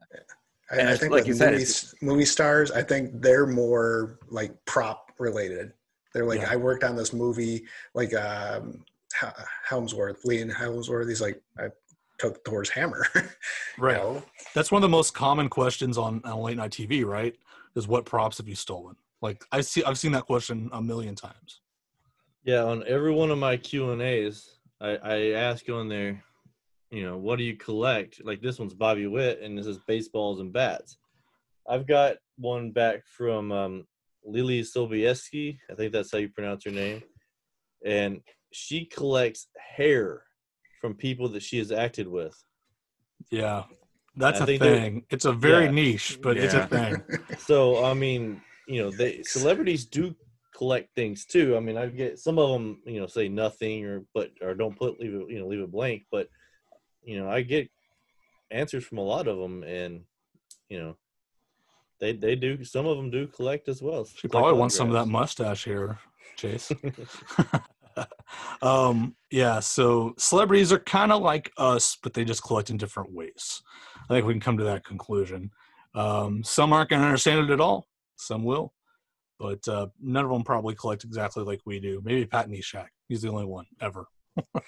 Who, Uh, uh, speaking of Pat, it's funny that he has access to basically everyone in the major league when he was playing, and he still was having a tough time completing his sets because there was a few guys that refused to sign for him. Zack, Zack Greinke. Zack Zack Greinke, Greinke yeah. was number one. you just have to buck up and buy it. You're a millionaire, so at that point, Oops, You know. Well, try to find a Zack Greinke any place. Good luck. yeah, that's true. I guess. Who was Um, it? wasn't it wasn't it Pat that uh that somebody got traded or something to the Cardinals with him and they wanted his number and he traded his number for a Babe Ruth autograph? That was I know there was somebody I couldn't remember who it was, but I was thinking it might have been Pat. um, it was a Babe Ruth ball. I forget who it was. It, I don't think it was him though. okay, Was it well, if you guys think about It it, might have been bring Wells. Wells. It might have been. Wel- I think it was Wells because I know he has a couple of them. But I don't think it was Pat. But I did hear that story someplace. Better Yeah. be PSA DNA authenticated. That's all I have to say. um, let's move on to our favorite segment of the show, the case against. And this week we're looking at Don Sutton, a man who signs TTM via charging. And this would be a huge scandal if we prove that it's signed by somebody other than Miss Sut- Mr. Sutton. So, uh, Mike, you want to present some evidence? Yeah, sure. Let me. uh Don Cornelius Sutton. Actually, I don't know if that's his middle name, but that was a, that was a Soul Train guy, Don Cornelius. Anyways, I digress. Uh, Don Sutton. Here is a PSA DNA card, and when this was brought to our attention, everyone was screaming about the S. Look at the S, look at the S, look at the S. So here you can see a nice big looping S. Don kind of circle with almost a U for the N. Uh, the other thing, take notice here, Sutton, the first T, little, big T, second one. All right. So that is certified by PSA DNA. Number two, this is a TTM Don Sutton. Circle, Don, double for the N. Different S. Mhm. Oh, look at that. Uh, no loop, but small t into the big T, into the end, Sutton. So you're thinking, oh, there's a difference there. There's definitely a difference. What's going on here, There's guys? a difference. Oh, maybe it's cards. Nope. Oh, here's a photo. But look at this.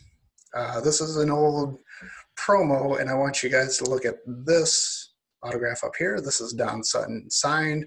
Uh, what they did, this is like the old 1980 cards where they had him sign. Yep. Uh, oh, but wait, Don Sutton Triangle S. with a triangle S down there, but look, small t, big T into the N. Oh, wait, loopy S, small t, big T into the N. Hmm. Hmm. All right. Oh, wait, what is this? Cert. A certified card, but it's got the triangle S. What is going on here? All right. Uh, circle D into the O, double N. It's hard to see because it's small. Triangle, but small t, big T into the N. This one's just a hot mess. Mhm. I don't even know what this is, but it's got the circle D, O, double into the N. Attempted circle S here, I don't know, but small t, big T into the N. Here's another TTM. Circle, double N, loopy S, small t, big T into the N. Mhm. Okay, now what's going on I'm getting here? weird here. But characteristics circle D into the O, double N. That one looks like it's signed by Don Button. Tempted squiggly S, small t, bigger T into the N. Last one, certified. Circle, double double N, loopy S, small big T into the N. Mhm.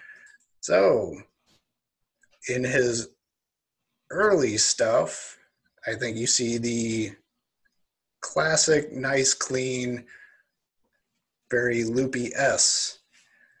In his later stuff, I think he forgets how to sign his S. Yep.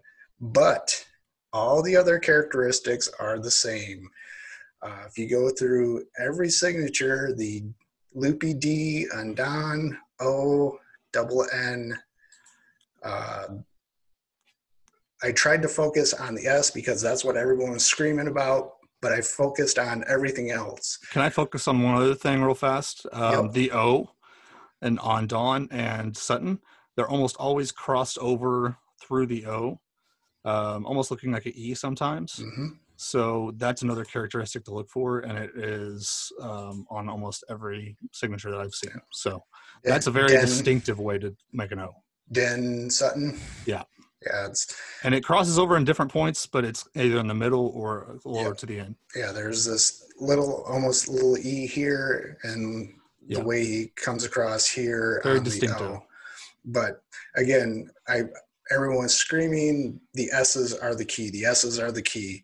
I don't think the S's are the key. I think it's he's either rushed or sloppy or he forgets how to sign his S's because everything else I saw characteristic wise from the double N where it almost looks like a U to the the smaller T, bigger T. Um, it's almost always in his signature where you can see that gap. Even on this one, I know when people sign something like this for a facsimile autograph, they used to, you know, tell them to clean it up a little bit so they could read the autograph. Right. That well, a lot of those, like like on the Topps, like I think 82 Topps was a big one. I think eh, uh, was it 80, I think as well. It come those actually came. The signatures came from the contract from Topps. Really? So that's on a piece of paper line. That's where they get those signatures Mhm. from. Yeah, I, w- I wouldn't say it's an autograph. It, you know, somebody's signing. so It's a signature, Right. and then there's definitely a difference.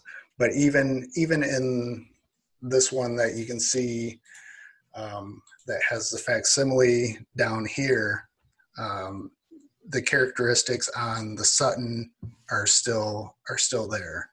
Um, but even though it's a completely different signature up there, um, so that that's the stuff I looked at.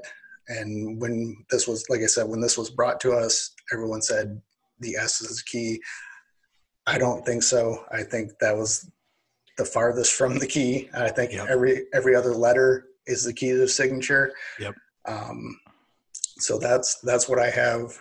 I will add that if you're saying that it's a secretarial TTM signature, you're also saying that whoever signed the secretarial signature also signed some certified cards because those there are some certified cards with that signature on them. Um, so you're making and a they've been bold signing claim. them for a long time. Yes, I think the card that I saw, um, I mean, they've range in dates. They kind of go back and forth on some certifieds when they were signed in different ways. Um, I, I think he's guilty. I think he's guilty of not going to class the day they learned how to make capital S's in cursive. That's what I think he's guilty of. Mhm. I don't know why this happens, but you do see some signature variations on some people that are consistently inconsistent.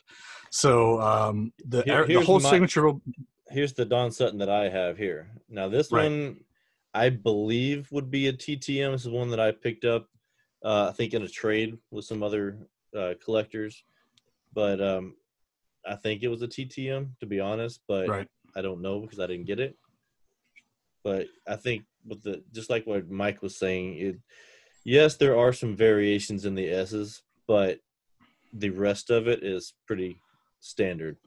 Right. And like with stuff that we claim is secretarial, like Debbie Reynolds, it's not just the tell that t- shows you that the uh, signature is not real.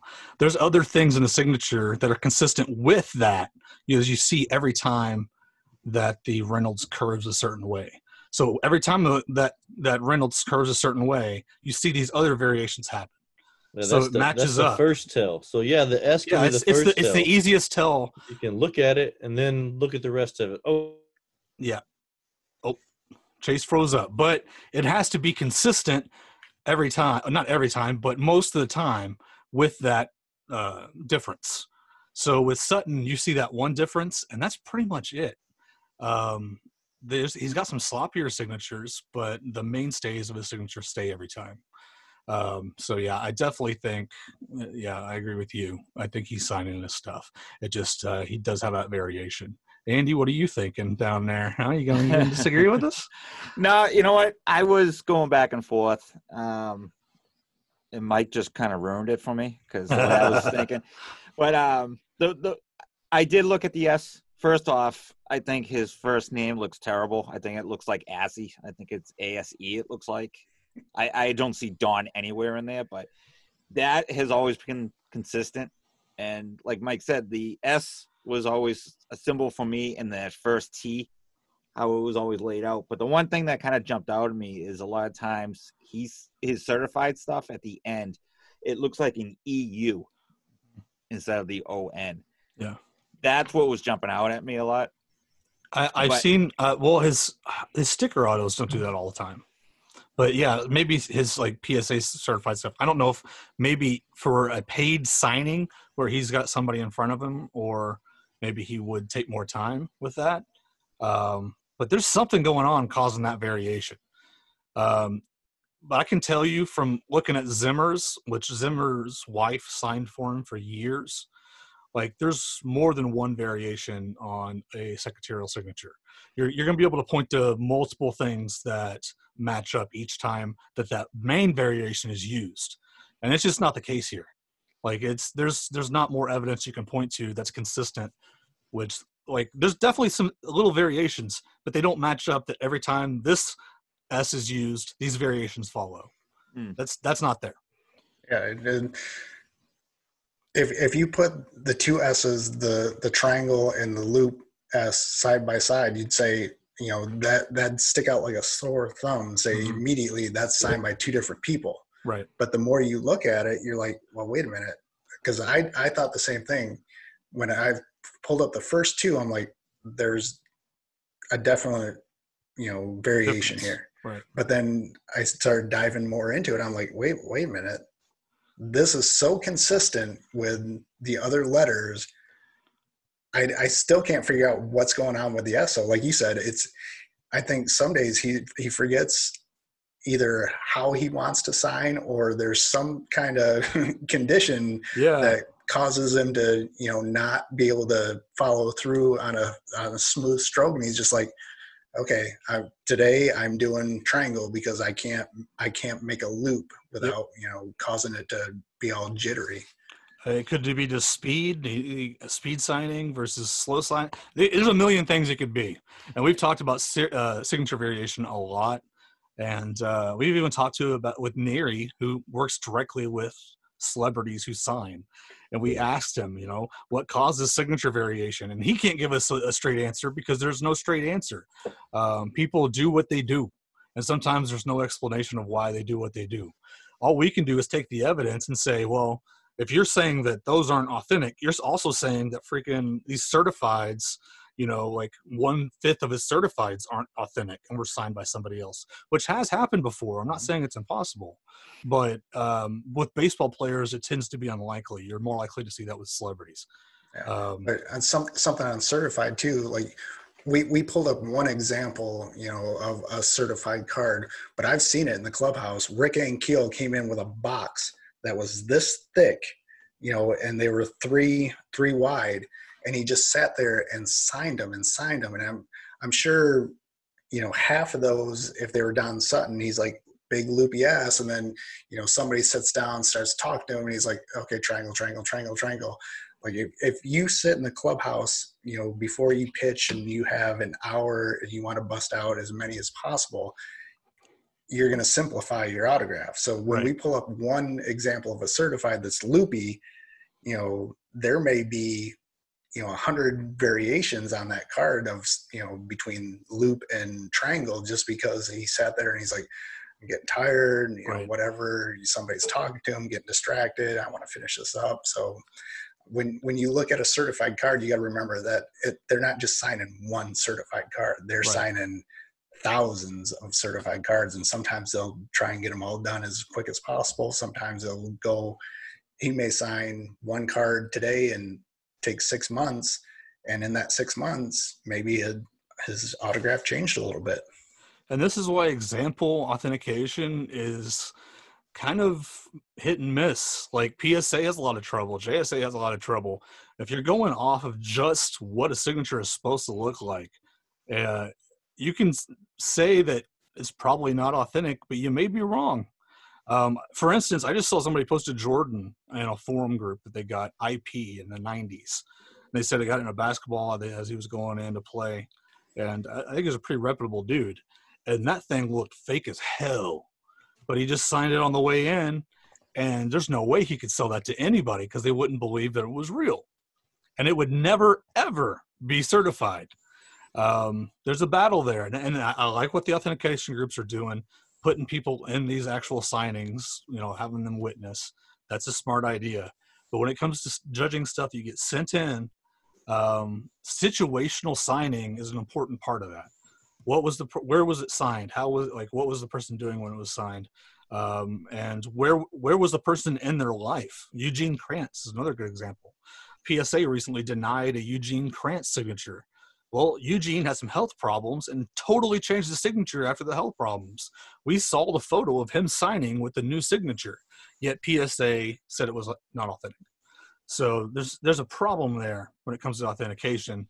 Uh, there's no clear solution, but definitely taking in these environmental and new evidence when it comes in, when it comes to in-person signings, taking in all that information and putting it together is an important key to that. It, it, it'd be interesting to send, you know, two variations, the the loop signature and a, a triangle signature to like Slab City, and see if they both came back. If At one the same time, back. right? Yeah. the same person authenticating it. Yep. Yeah, that would be Because interesting. You, you got to remember, I mean, Sutton's, I believe, is a broadcaster for the Braves. Yep. So, so I mean, if he's working 162 games out of the year, I mean, he's either gonna come back from a road trip and have you know a thousand things to sign, or he's on a homestand and he's only getting 10 or say 20 a day, and he can do his regular signature, or he's gonna rifle through that big pile that he gets when he gets home. He's also Signing on an 75 years airplane with old too. Turbulence. he's getting up there in age. Yeah, he's at 75. Yep. Yeah. So we, you you can't really pinpoint what it is. We'll, we'll never know, you know, what causes that. But just taking all the evidence, and, and that's why we do these segments to kind of show you guys how to form your decisions on authenticity. Um, you have to take in all the evidence, including the the environment it was signed in, and um, yeah, make your decisions based on all the evidence, not just the example of the signature you're basing it off of.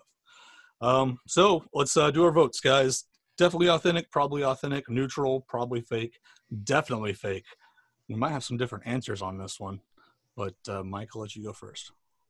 I'm going to say probably authentic. Okay, I'm going to say definitely authentic because I've seen enough evidence, especially with the O's and the um, the similarities you pointed out. Um, I see no reason to think they're not authentic. The S's are literally scattered among certified autos and tra- certified trading cards. So I, I will- I will say definitely authentic. Um, Andy, well, I'm gonna say probably. Uh, I'm sorry. Um, what was the what was not the definite? so you have definitely Yeah, authentic, probably, probably, yeah. authentic, neutral. Yeah, I'm gonna go with probably. Okay. I I was leaning towards not, but you know, You can go neutral. uh, you know, Captain S over here convinced me the other way. So Chase. I, I think they're definitely authentic. I think that you know, like we said, time depending on what, how much he's doing at one time. He's seventy five. You can get tired. You know, he can start at one S and then by the end of the day be at a different S. So Right. I, I think they're definitely authentic. So that's a tie. We're gonna probably we're gonna do probably authentic. That's what the group uh, comes up with. Probably authentic. We're gonna lean that way in the middle. Probably, Um, definitely. So probably definitely, yeah. um, our diagnosis is probably authentic on the Don Sutton TTMs, which is good news for people that paid money. You didn't get scammed. Probably. Uh, It's our opinion you didn't get scammed. Got to throw that out there. Watch for more coming back later. Yeah. I will be uh, sending some more off. nice. We'll see what you get in. Right. Um, maybe you'll get a square D or, or a S. Sorry. Um, moving on to our ad, and Mike has our ad for this show. All right, tonight's giveaway is sponsored by Slab City Sports Cards and Collectibles. Our friend Garrett and his wife Tiffany run a Facebook page that will send in your stuff to get authenticated by PSA DNA. And today's giveaway is this little bad boy. Nice. It's a orig- uh, official batting order from the Milwaukee Brewers from July 23rd, 2013, uh, when they played the San Diego Padres. It is an official card signed by Ron Roenicke, who was the manager of the Milwaukee Brewers. So that was actually hanging up in the dugout during the game. Yep. Uh, the actually, no. That's a that's a that's a manager card, right? So that wasn't that was a manager's. It was Manager uh, could have been in the clubhouse, but this is yeah. a- official one. Usually, the ones that are handed to the umpires are folded because they stick them in their pocket. Right. Um, but that was donated by Garrett and Tiffany over at Slab City. They do have a basic submission coming up on uh, June 20th. For $15, you can send in most items. Um, some players are obviously premiums, but if you want to get something just basic authenticated, uh, not graded as far as the autograph, but a, just a basic authentication. Uh, it will be encased. Uh, if you have a card, you know, it'll be authenticated and slabbed and sent back to you. So get in touch with Garrett. Uh, our link is on our page, graphersaa.com. Yep, and it's a Facebook page you check out and message them there. Um, so uh, the giveaway for obviously is the lineup card, and the question is, what is your most awkward experience with autographing? So this can be in person, this could be TTM, but something weird and awkward that happened to you. Explain the situation. We want to hear them. Um, I'm sure we're going to get some good ones for this, and you'll win that piece of baseball history. Now you're wondering who won the giveaway from last show. Well, that would be Rob P. Rob P. You won the Star Tiger one month subscription along with a magnifier for your phone. So, congratulations. That'll be shipped out to you ASAP. Um, if you guys want to enter the giveaway this week, all you have to do is go to our website, graphersaa.com. It's graphersaa.com. Answer the question, fill out the form, and bam, you're entered. It's as easy as that, guys. Um, moving on, we uh, we going talk about some fanatic feedback. Fanatic feedback is a segment where we actually take questions from you via voicemail and answer them on the show. And here is our question for today. Hey guys, great show. My name's Rob, and uh, my son Braden and I do a lot of graphing together, uh, mainly in person. However, we've also got into the the TTM autographing a lot lately. I did it a lot as a kid, but uh, now it's kind of his turn to to pick it up. And uh, I was wondering if you guys what what advice you guys have for kids who are getting into um, TTM autographing. So, what advice do we have for kids getting to autographing uh, TTM? Um, we this is our number one. We talk about this all the time. Take advantage of what you can. Don't lie, but take advantage of what you can. And if you're a kid, play up that you're a kid. Um, a lot of people um, have different things going on that they can write about, but uh, use that to your advantage. And um, you know, I'm not saying write worse, but don't do a form letter if you're a kid. If you're a kid, you're going to benefit from handwriting a letter. It may take a little more time, uh, but I think it can even be shorter and you get a better response as long as it's handwritten because they're going to realize that you're a kid and not uh, some guy, some some some 30, 40 year old guy out here sending out form letters just to get autographs. Um, you guys got any tips for the youngsters uh, doing TTMs?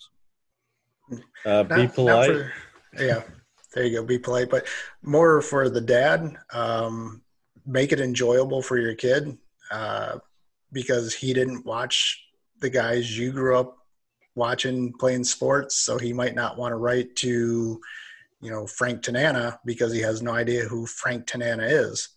Um, try and make it relatable to something he sees on TV, a movie, sports. Um, make it relate to him so it can be you know personal to him not not just your collection you can even expand both of your knowledge like you, you could go both ways with that so you could say i'm going to watch something that you're interested in and we can write to the person. But i want you to watch this perfect game that david wells threw back in 1998 and that way you would pre- appreciate that person and then we can write to both people. So you can actually intermingle it that way too.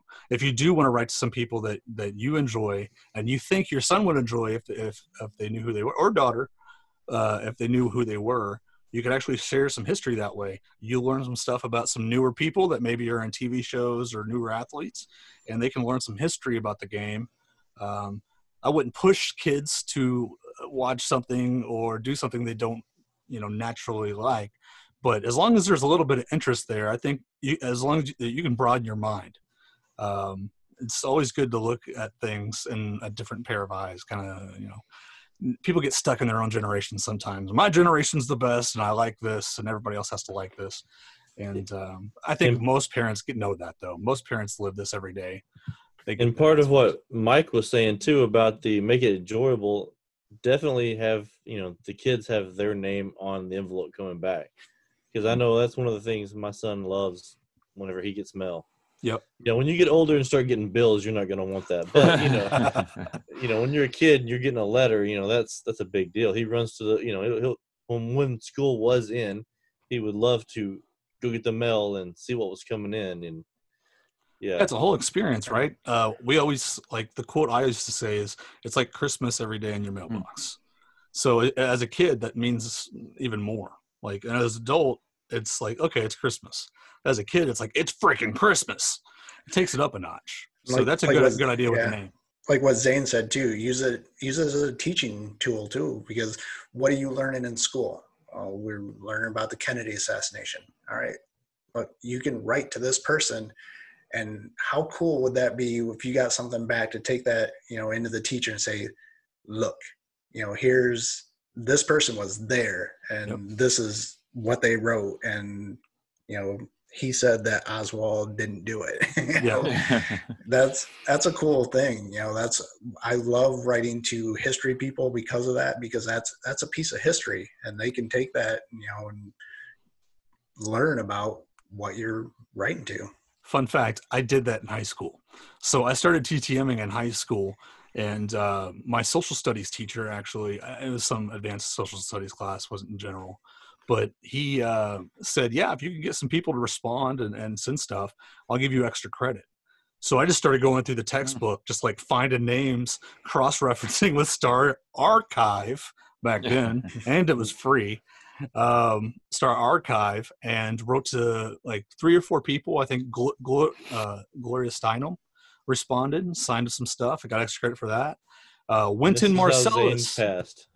Uh, oh yeah, yeah, yeah. It's the only, it's the only reason I passed the class. Uh, um, but I wrote to Wynton Marsalis, and he res- it only took him uh, like ten years to respond. At that point, I was graduated Yeah. and uh, been out of school for like um, I don't know eight nine years.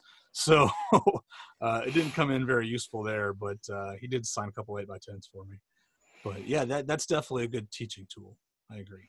Uh, So- got anything other? Yeah, my advice. I mean, if you're a kid, number one, don't send the porn people because that'd probably be a bad thing to do. Um, my thing is for I mean, sending Dave? your Talk yeah. to you, Dave. yeah, Dave Jr. out there. No, um, I would if you're just starting off and you, I would send the people in your age group. I mean, if you start sending to like Nickelodeon shows that you like, or even YouTube stars that you kind of like that are kind of in your bracket, I mean, I think you have a better chance of getting a better response because it's, you know, if you're 12 years old and you send it to a a child star that's you know 10 12 13 years old they might respond better to you because you're in the same age bracket. I, I'd say if you're honest with the older, like if you're obviously if a kid is writing to, um, I'm trying to think of an older star, Keith Hernandez, um, he didn't watch him play, but you Yeah. could say my dad showed me highlights or my dad showed me Game Six of the World Series or you know I watched Seinfeld, I watched the episode of Seinfeld, and like you could work it that way and, and still make that work. I think. Um, just be truthful, guys. Don't lie in your TTMs. Do we have to talk about the Tom Kenny SpongeBob story every time? um, some guy faked having uh, cancer, and Tom Kenny showed up to his house and said, "I'm here to see the little boy that has cancer." And um, like a 45 year old man said, "Oh, I'm sorry, that was me. I was lying just to get an autograph." Terrible story. Don't be that guy. Okay, be truthful but um, you know, I stress that so much. Be truthful in your TTM's. Um, anyways, if we don't have any more, we're gonna go ahead and move on. Um, thanks for the question, by the way. Appreciate it. Uh, if you guys want to send a question in, just go to graphersaa.com. Again, everything's on that website, graphersaa.com. Click Fanatic Feedback. You can record on your phone or your computer if you have a microphone. Real easy, guys. Just hit record, boom, it's in there, and we'll answer it on the show. Um, okay, let's move on to the Reaper report. We have a list of people who passed away over the last two weeks. We have Kiz, Ken Osmond, Annie Glenn, who I'm surprised was still uh, alive, but she was the wife of John Glenn. There's actually been several documentary series and um, TV shows, I think, even about her over the last few years. Um, Jerry Sloan, very notable TTM signer, passed away. He was in bad health for a while. So, um, Lynn Shelton, uh, Fred Willard, Richard Herd, and Bob Watson. So those are the people that passed away over the last two weeks, and uh, it's time for promotions. So, uh, Chase, do you want to promote some stuff? Uh, check out my YouTube channel, Chase and Eat. I got a Instagram as well. Anything that's there is there, here is there, same. So, uh, yeah, I got uh, every every Wednesday Q and A Wednesday. This week is uh, Bobby Witt. And the best way to get to Chase's YouTube channel is on our website, graphersaa.com, because I've literally tried to find your channel before and it brings up like credit card reviews and stuff from like Chase Bank. like it's impossible to find your channel. So like I, I the, go to the website, just go to the website and click the link. It'll take you right there. Andy? If you haven't been to my YouTube channel in the last like eight weeks, don't go because there's nothing new on there. So other than that, I have nothing to say. a man of few words. Mikey? Um, real quick, we forgot Eddie Sutton, uh, longtime basketball coach at uh, Hmm. Oklahoma State, passed away.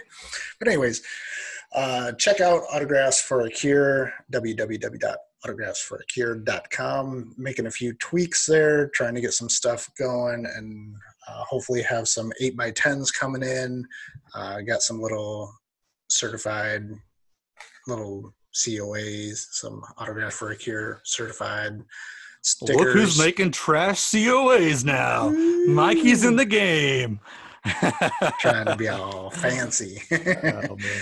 but uh, I should have some stuff coming in. Like I mentioned, uh, people with the RSVPs agreeing to sign some 8 by 10s So uh, if those come back, I'll definitely get some stuff put on the site. So Very cool. Very cool. Uh, I just want to thank you to all the new listeners. We got a little rush of new listeners over the last few weeks. Um, I appreciate you guys listening and uh, uh, enter these contests, guys. Win some free stuff. It's real easy, I promise. Um, obviously, go check out bargainhistory.com to get some autographs on eBay. Go check out fabricfobs.com to go get celebrity pieces of clothing stuck in keychains. And uh, that's all I got. So you take care, all of you autograph addicts.